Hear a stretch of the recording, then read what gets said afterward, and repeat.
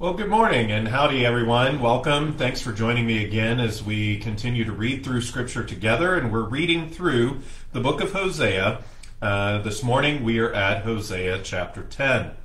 And so far we have seen the sinful people that uh, have sinned against the holy God.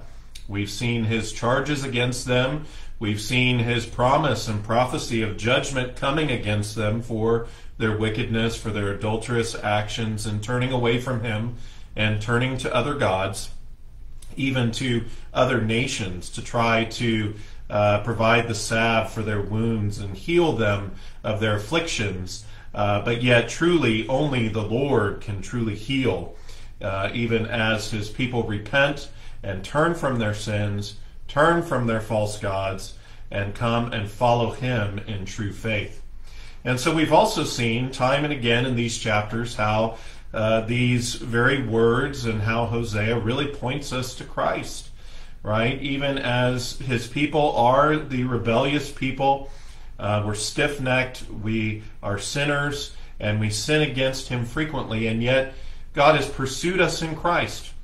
God has sent his Son to die, to suffer and die, and to rise again, to pay for the sins of his people, to be victorious, uh, to be the victor, and indeed to bring forgiveness and salvation uh, to his people.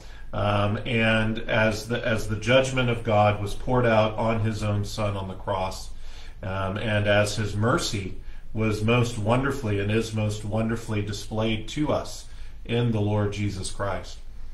And so now we come to chapter 10, where God is going to talk specifically about Israel's sin and captivity.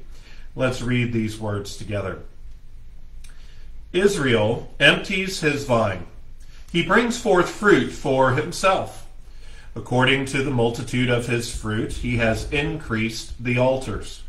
According to the bounty of his land, they have embellished his sacred pillars. Their heart is divided.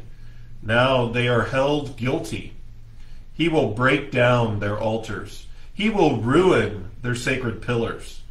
For now they say, We have no king, because we did not fear the Lord. And as for a king, what would he do for us? They have spoken words, swearing falsely and making a covenant. Thus judgment springs up like hemlock in the furrows of the field. The inhabitants of Samaria fear because of the calf of Beth Aven, for its people mourn for it, and its priests shriek for it, because its glory has departed from it. The idol also shall be carried to Assyria as a present for King Jareb. Ephraim shall receive shame and Israel shall be ashamed of his own counsel. As for Samaria, her king is cut off like a twig on the water. Also the high places of Aven, the sin of Israel, shall be destroyed. The thorn and thistle shall grow on their altars. They shall say to the mountains, Cover us, and to the hills, Fall on us. O Israel, you have sinned from the days of Gibeah. There they stood. The battle in Gibeah against the children of iniquity did not overtake them. When it is my desire, I will chasten them. Peoples shall be gathered against them when I bind them for their two transgressions. Ephraim is a trained heifer that loves to thresh grain, but I harnessed her fair neck. I will make Ephraim pull a plow. Judah shall plow. Jacob shall break his clods. Sow for yourselves righteousness. Reap in mercy. Break up your fallow ground. For it is time to seek the Lord till he comes and rains righteousness on you. You have plowed wickedness, you have reaped iniquity.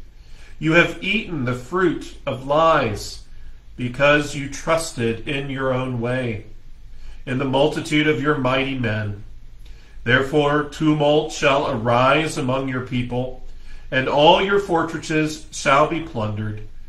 as Shalman plundered Beth Arbel in the day of battle, a mother dashed in pieces upon her children. Thus it shall be done to you, O Bethel, because of your great wickedness. At dawn the king of Israel shall be cut off utterly. Amen. Thus far, the reading of God's word from Hosea chapter 10. And again, we see more of God's words and his details regarding Israel's sin and what he will do to them because of their sin. Well, may God bless the reading of his word to us today. I hope you'll join me again next time as we jump into Hosea chapter 11. Take care. We'll see you then.